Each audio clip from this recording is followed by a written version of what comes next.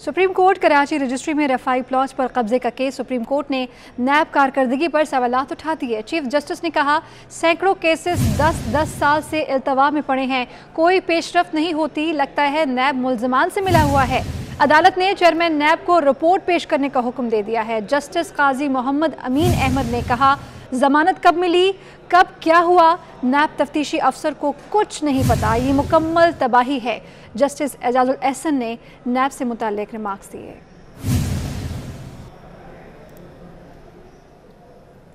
सैकड़ों केसेस 10-10 साल से अल्तवा में पड़े हैं। कोई पेशरफ नहीं होती। लगता है नैब मुलजमान से मिला हुआ है।